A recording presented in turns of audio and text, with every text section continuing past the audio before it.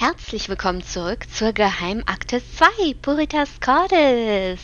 Ja, wir sind wieder unterwegs mit unserer Nina und ich sage schon mal vorweg, es tut mir leid, wenn ich heute vielleicht ein bisschen schwer vom Begriff bin, schlimmer als sonst noch, weil wir haben über 30 Grad und diese Temperaturen halten sich schon gefühlt eine Ewigkeit. Mein Gehirn ist einfach matsch, besonders heute. Ich habe die ganze Zeit mit mir gehadert, ob ich überhaupt heute noch eine Aufnahme mache oder nicht, aber ich habe gedacht, nein, ich will auch wissen, wie es einfach weitergeht und ich habe ja auch schon einen Hinweis bekommen bezüglich der Uhr und der Kerze und so weiter. Ich laufe da gleich nochmal zurück. Ähm, ja, aber ich sage schon mal im Vorweg, sorry, wenn ich heute besonders auf dem Schlauch stehe, weil das ist unnormal. Ich weiß nicht, wie es bei euch ist, aber bei uns hier, ähm, ja, die Temperaturen sind unnormal, ganz ehrlich. Das ist schon heftig. Ja. Ich weiß nicht, wie ich dann noch morgen, ähm, naja, wobei diese Folge wahrscheinlich erst Freitag rauskommt. Ich überlege gerade. Ja, Freitag. Und ähm, ich hatte eigentlich vor, am Samstag noch eine Episode hochzuladen von A Story Beside, weil ich habe jetzt am, ich meine, 13.8. Jubiläum, ein Jahr YouTube. Und da wollte ich ja dieses eine Special machen und das würde dann Samstag rauskommen. Das müsste ich aber dann morgen fertig machen. Oh, aber bei der Hitze, ich weiß es nicht. Ich muss mal schauen, wie es wird. Aber es kommt auf jeden Fall noch. Ihr könnt euch auf was freuen. Es gibt dann wieder ein bisschen, ja, mehr Content. Ja, genau. Okay. ich gehe mal jetzt erstmal wieder zurück zur Bahnhofsuhr, äh, weil ich wohl hier das Uhrwerk nicht betätigt hatte, soweit ich weiß. Ne? Ich habe ja nur die äh, Kerze draufgestellt. Ein teuflischer Plan, der mich vermutlich viele Sympathien kosten dürfte.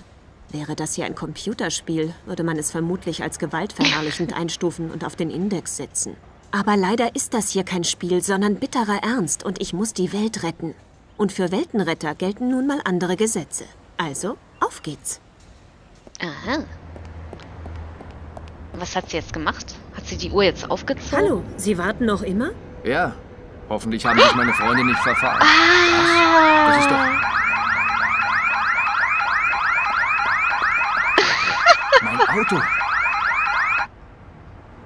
Ich hab's beschädigt, ne? Müsste ich jetzt nicht dafür ins Gefängnis kommen? Wartet, ihr fahrt in die falsche Richtung. Oh, Ihr müsst doch hier abbiegen. Halt! Na, so ein Mist. Jetzt bin ich komplett durchnässt. Das nennt man dann wohl Kettenreaktion. yep. Es ist eine Katastrophe. Wie mein ganzes Leben. Eine einzige Katastrophe. So schlimm, dass Sie Ihre Freunde verpasst haben? Meinen Sie nicht, dass Sie den Weg trotzdem finden werden? Ja, vielleicht. Aber es geht ums Prinzip. Mir will einfach nichts gelingen. Alles geht Och, schief. Menno. Ach, Kopf hoch. Es Ja. kommen auch wieder bessere Tage. Darauf warte ich schon seit Jahren. Entschuldigen Sie mich bitte. Ich brauche mal ein paar Minuten für mich. Hm, wie wär's Der mit... ist ja völlig fertig mit den Ja. Nerven. Ich sollte ihm folgen und aufpassen, dass er keine Dummheiten macht. Oha. Schließlich bin ich ja nicht ganz unschuldig an seiner Stimmung. Ähm, Puh, ich dachte schon, er will sich was antun.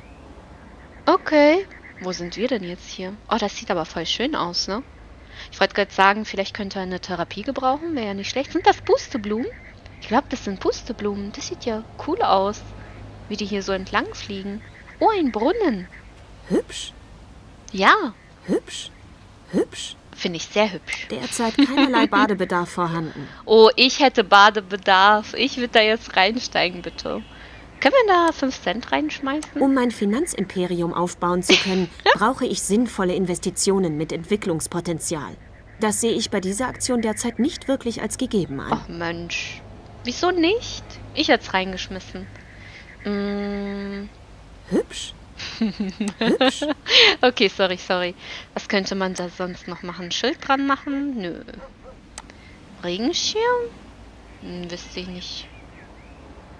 Ein Teddy wäre ein bisschen traurig. Nee, nee, nee, nee. Ein Schnuller? Höchstens zum Auswaschen oder so? Ich weiß es ja nicht. Ein Pflock? Nee. Wartet mal, ich habe noch nicht probiert, irgendwas hier zu kombinieren. Könnte ich den Teddy aufspießen? Nein, nicht den Teddy aufspießen. Okay. Ähm, wir haben hier noch einen Sandkasten, aber den kann ich nicht anklicken. Oh, ein Schloss. Wow, was für ein Schloss. Wer da wohl wohnt? Schick. Sieht auf jeden Fall gut aus. Eine Statue. Ich habe keine Ahnung, wen diese Statue darstellen soll. Und eine Plakette mit näheren Hinweisen ist nirgendwo zu sehen. Ist mir ein Rätsel, wie sich die Statue auf irgendeine Art und Weise manipulieren lassen soll. Können die Statue manipulieren? Schild dran machen? Nein? Wir testen alles aus. Regenschirm wird doch auch cool aussehen. Oder ein Teddy in der Hand? Nein? Schnuller wäre auch gut. Äh, man kann hier nichts wirklich mit anwenden. Schade.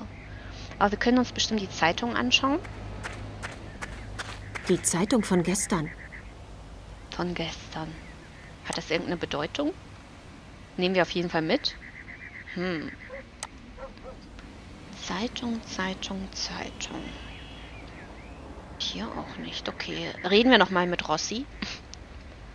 Der sieht ziemlich niedergeschlagen aus. es ist auch eigentlich unsere Schuld, ne? Hallo, wieder alles in Ordnung? Ich mache mir echt Sorgen um Sie. Oh, hallo. Ja, ist nicht mein Tag heute. Erst zerkratze ich mir mein Auto und dann verpasse ich auch noch meine Verabredung, die jetzt vermutlich irgendwo auf dem Weg Richtung Spanien ist. Oh, ich fürchte, dass ich zumindest für die verpasste Verabredung verantwortlich bin. Kann ich irgendwas für Sie tun? Irgendwas, das Ihre Laune wieder etwas aufbessert? Nett gemeint, aber ich laufe schon seit Jahren meinem Glück hinterher. Oh. Es ist einfach schneller als ich. Man kann das Schicksal nun mal nicht ändern. Der arme Kerl ist ja fix und fertig. Nina, du musst dir dringend was einfallen lassen, sonst kriegst du bald nur noch Angebote als Filmbösewicht. Wenn ich jetzt gehe und verspreche, bald wiederzukommen, versprechen Sie mir dann auch, keine Dummheiten zu machen? Klar, schon aus purem Mangel an Energie. Oh. Boah, der, der ist ja richtig fertig. Ein Flock? oh, sorry. Eine Münze wird es auch nicht tun. Kann ich ihm irgendwas andrehen, was ihn glücklich machen könnte? Aber anscheinend bis jetzt noch nicht. Hm, schade, nee. Gibt es noch etwas, was ich hier übersehen haben könnte?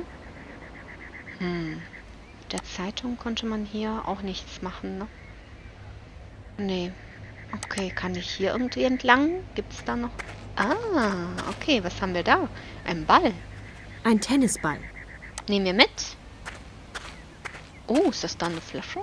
Oder sitzt noch einer? Hier gibt's da so genug Sachen zum... Ein Tennisball. Ja, das habe ich auch erkannt. Da hinten sehe ich noch einen Reifen. Da treibt ein Hula-Hoop-Reifen auf dem Wasser. Hm, nehmen wir mit.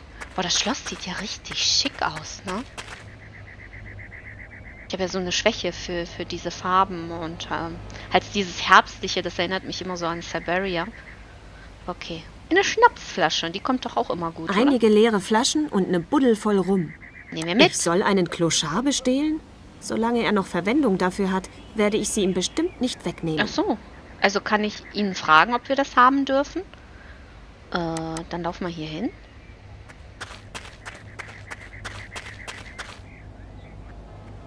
Müffelt etwas, aber scheint ein netter Kerl zu sein.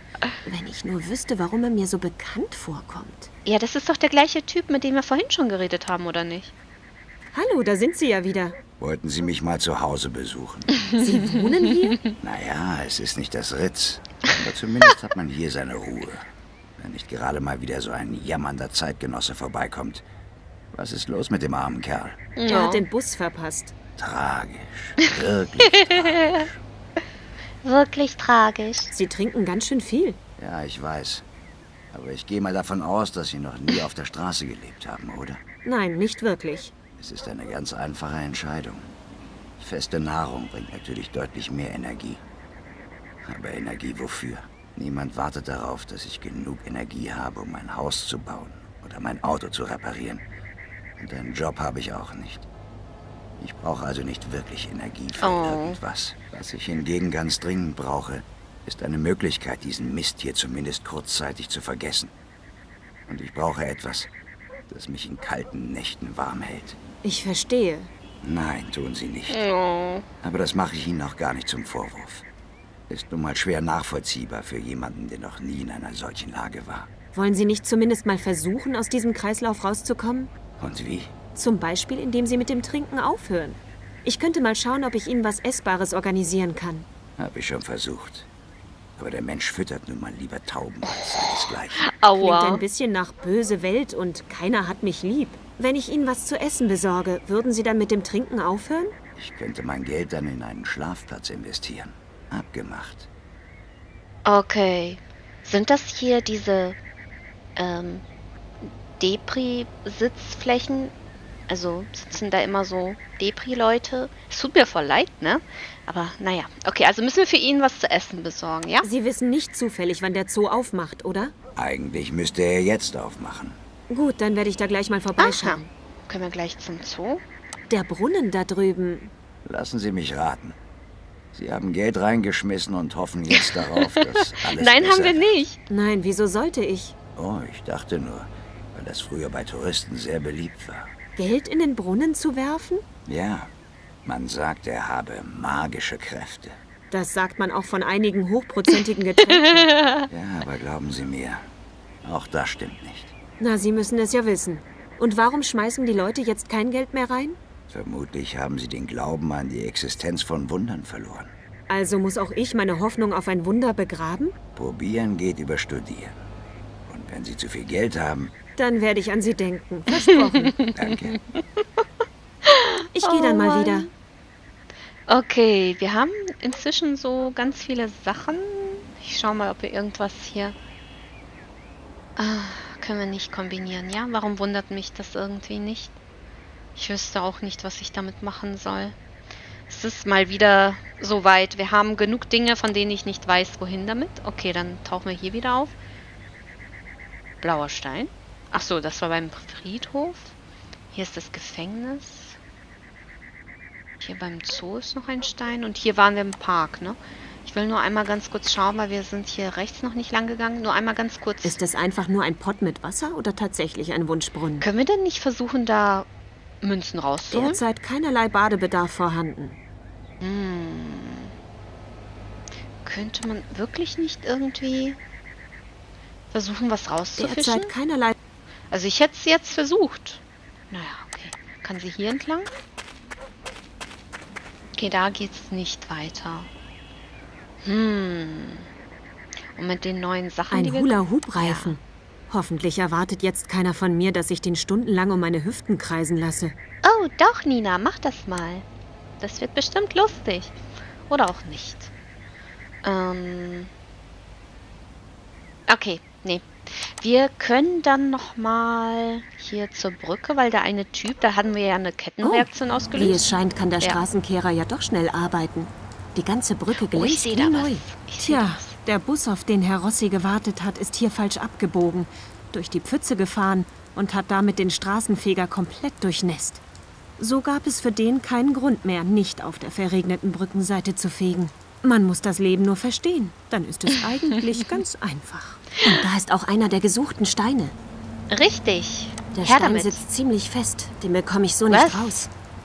Dies ist einer der gesuchten Steine, die aus dem Mosaik in der Kirchenruine stammen. Darauf ist ein stilisierter Bauer abgebildet. Stilisierter Bauer, okay. Also müssen wir das Ding irgendwie rauskriegen, vielleicht mit dem Flock? Der Pflock ist zu dick. Damit komme ich nicht in die Fugen. Vielleicht mit der Münze versuchen? Geht nicht. Mit dem Regenschirm? Mit der Spitze kann ich vielleicht Ja. den Sand drumherum ein bisschen wegkratzen. Und jetzt den Schirm als Hebel einsetzen. Ja, sehr Dieser schön. Stein ist mein. Fängt sie ja gleich an zu dichten. Okay, hier ist der Stein dann auch erledigt. Jetzt muss ich einmal ganz kurz schauen. Hm, was war das nochmal für ein Auf dem Schild? Schild steht Aushilfe Ach, gesucht. die Aushilfe, okay. Sonst war hier jetzt weiter nichts, ne? Nur die Enden. Können wir hier noch weiter durch?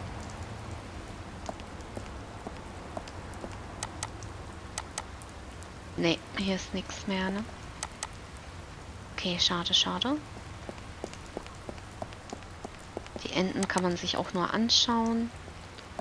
Was haben wir hier? Können wir noch im Abfallhaufen was rausholen? Ein Haufen voller Laub, Dreck und Abfall.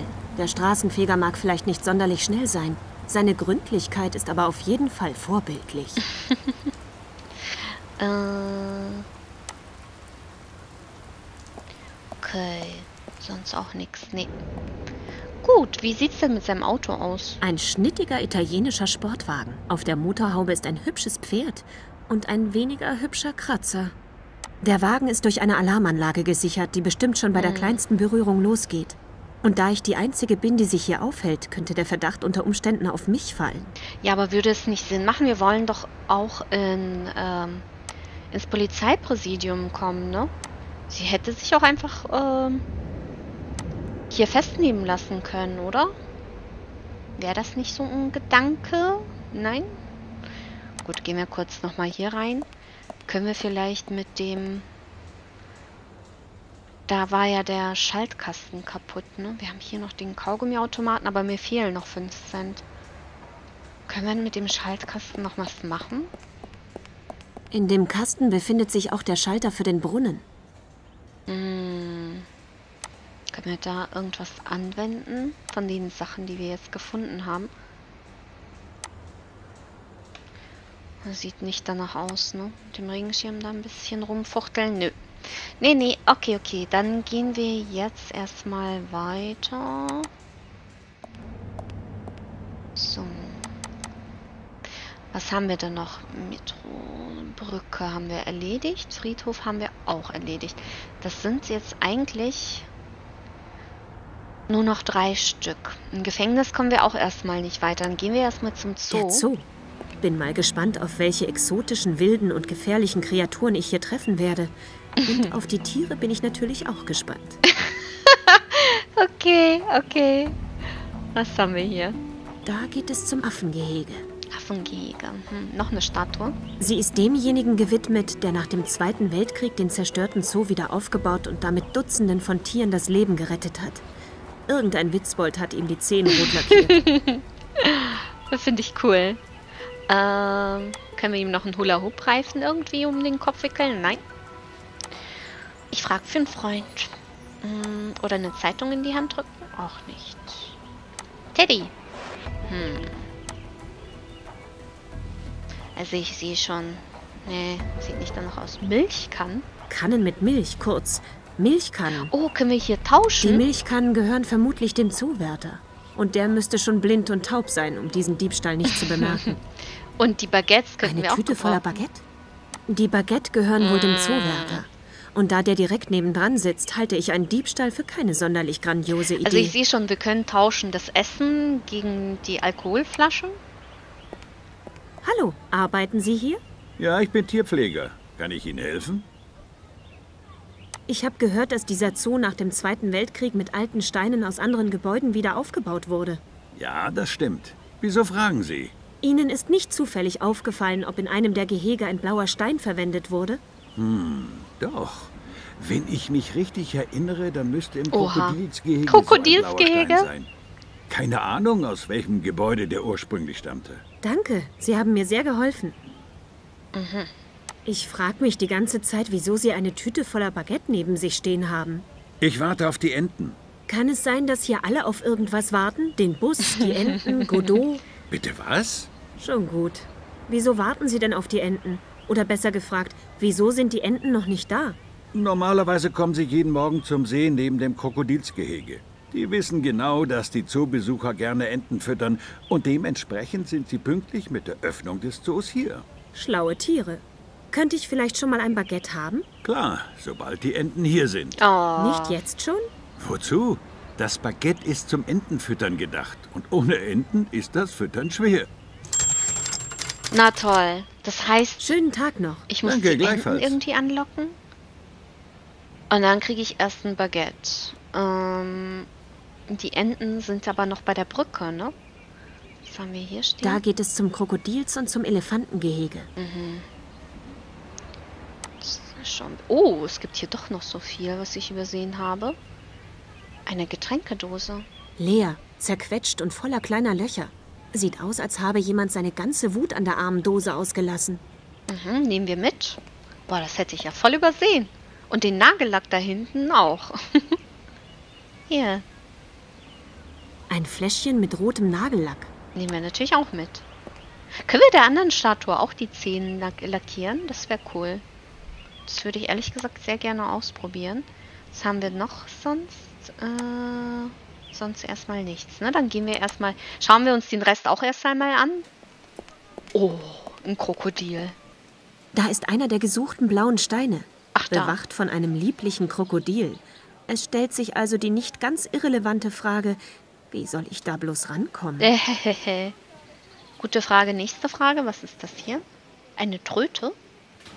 Eine kleine Tröte macht Tröt.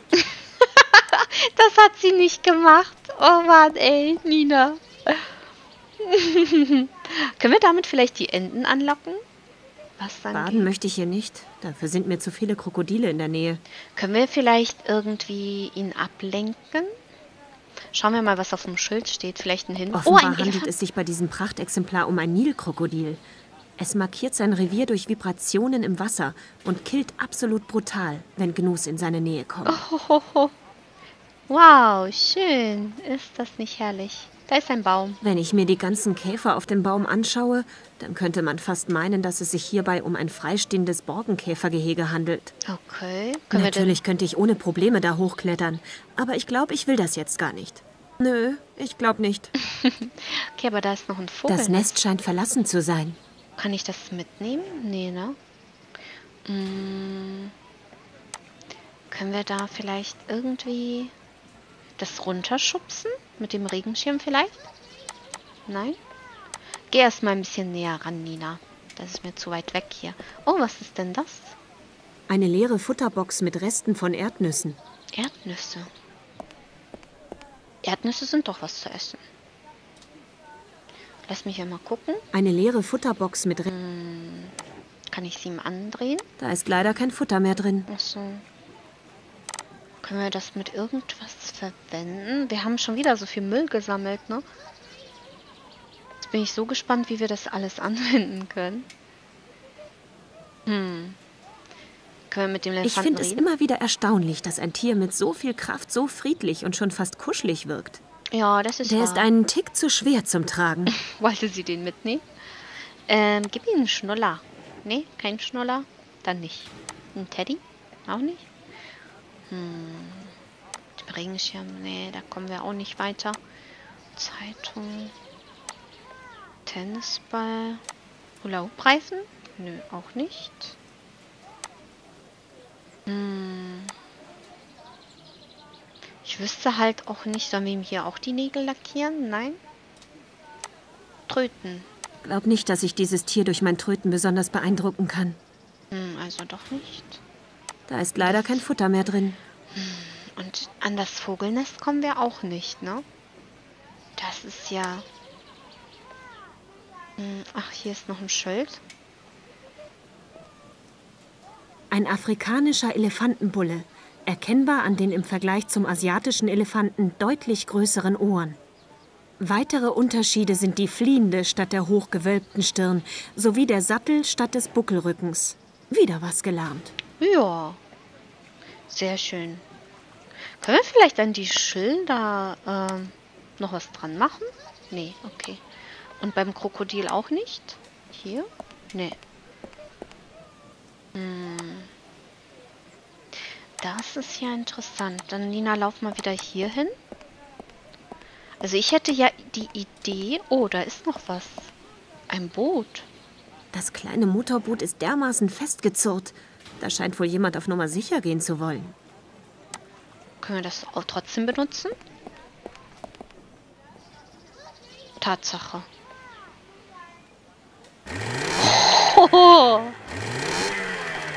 Ich weiß nicht, ob das so eine gute Idee Der ist. Motor funktioniert.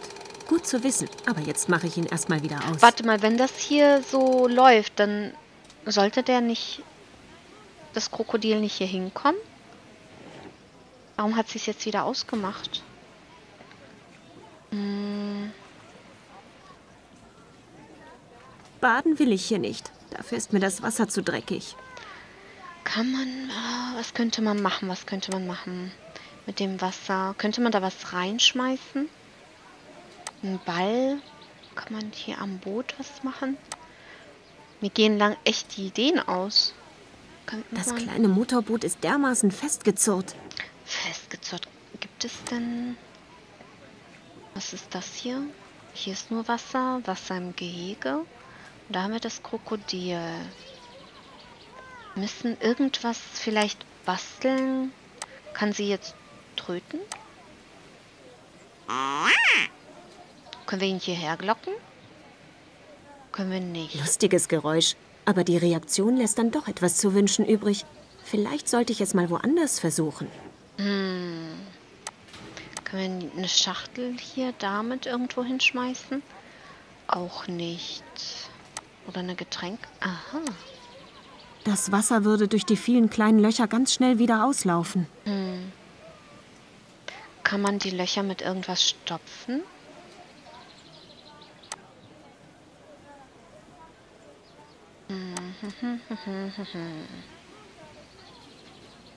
Nö. So, ich bin ziemlich überfragt. Was ist das hier? Man hat einmal das Krokodil. Ach, und das ist der blaue Stein. Okay. Ich würde sagen, mh, wir laufen jetzt erstmal zurück. Und zwar zum Park. Ich will nämlich austesten. Ach, der hat gar keine 10. Oh, ich wollte dem nämlich... ich wollte dem auch was anmalen. Das hat ja jetzt nicht so toll funktioniert. Hm. Kann ich ihm vielleicht die Zehen lackieren? Nein, kann ich nicht. Am Brunnen kann man auch nichts machen. Kann ich hier tröten? Huch, wo rennt sie da hin?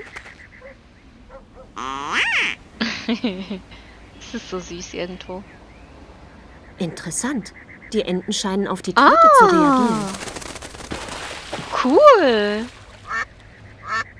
Ah. Enten. Hübsch. Das heißt, ich muss die Enten irgendwie hinlocken, ne?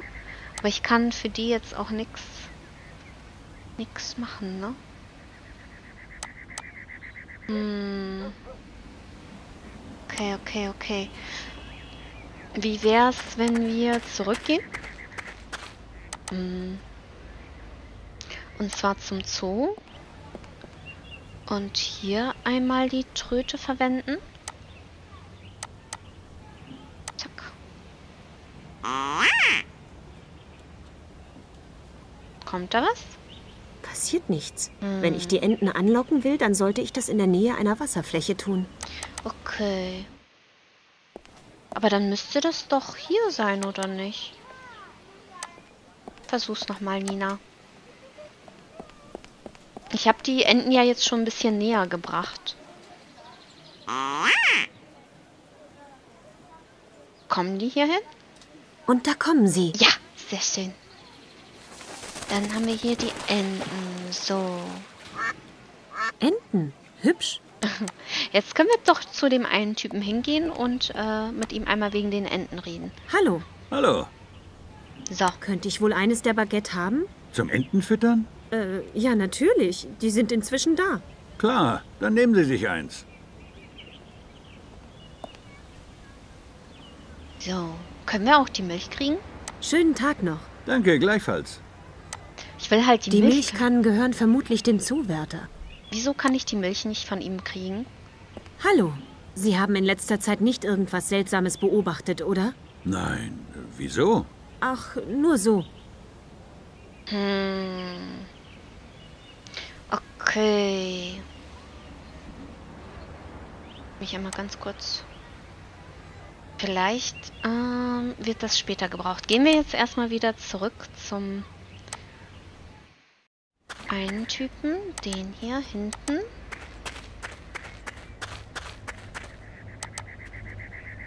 Na komm. So, und geben ihm das Baguette. Zack, bitteschön. Ich hätte hier etwas feste Nahrung für Sie.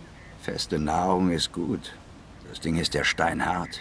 Okay, es ist nicht mehr ganz frisch, aber... Keine Sorge, ich bin nicht wählerisch. Aber ich habe kaum noch Zähne. Oh. Dürfte es mir ein wenig schwer fallen, Pflastersteine zu kauen. Sehe ich ein. Vielleicht finde ich ja noch eine andere Lösung, um Ihren Hunger zu stillen. Hm. Wenn ich Ihnen was zum Essen bringe, dann hören Sie zumindest heute auf zu trinken? Das sagte ich doch bereits. Wer ist denn hier eigentlich derjenige, der sich die Gehirnzellen wegsäuft? Sie Schon gut, ich wollte ja nur sicher gehen. Okay, also das hat nicht ich funktioniert. Ich gehe dann mal wieder. Hm, das heißt, wir müssen irgendwas anderes mit dem Baguette machen. Ich muss es bestimmt irgendwie auseinanderbröseln, oder? Und dann irgendwas... Oh, ich weiß es nicht. Womit? Ich kann das mit nichts kombinieren. Nö. Kann ich mit dem anderen Typen noch sprechen? Kann ich ihm das Brot andrehen? Fragen wir mal so. Das mit dem Nagellack habe ich schon. Nee, kann ich nicht. Aber wir reden noch mal mit ihm. Vielleicht kann er uns Hallo, was sagen. Sie sehen immer noch so deprimiert aus. Habe ich nicht auch allen Grund dazu? Sehen Sie es doch mal positiv. Sie sitzen hier in einem schönen Park. Naja, schön ist relativ, aber... Ach, sehen Sie es einfach positiv. Sie sind eine echte Motivationskünstlerin. Sehen Sie es einfach ja, das positiv. hat man mir schon oft gesagt. Ich habe gehört, der Brunnen da drüben soll magische Kräfte haben. Früher kamen die Leute von weit her, um hier eine Münze reinzuwerfen und ihrem Glück ein wenig auf die Sprünge zu helfen. Vielleicht sollten Sie das auch mal versuchen. Wenn Sie wüssten, was ich schon alles versucht habe. Ein Versuch wäre es doch aber wert, oder? Um kurzfristig ein kleines Fünkchen Hoffnung zu haben, dass er wieder von einem ganzen Wasserfall aus Enttäuschung erstickt wird. Mit dieser negativen Einstellung kann das ja nichts werden. Ja, das hat meine Therapeutin auch jahrelang gesagt. Recht hat sie. Aber warum sagt sie das jetzt nicht mehr? Weil sie jetzt selbst in Behandlung ist. Wegen chronischer Depression. Bei dem Kerl hilft nur noch ein mittelschweres Wunder. okay. Wenn ich jetzt gehe und verspreche, bald wiederzukommen, versprechen Sie mir dann auch, keine Dummheiten zu machen? Klar, schon aus purem Mangel an Energie. Okay, also das hat auch nichts gebracht.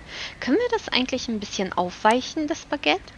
Das Wasser ist schon ziemlich abgestanden und würde den Genussfaktor des Baguettes vermutlich nicht unbedingt in exorbitante Höhen treiben. Okay, es war ein Versuch wert. Mm, können wir jetzt hier eigentlich noch eine Münze reinwerfen?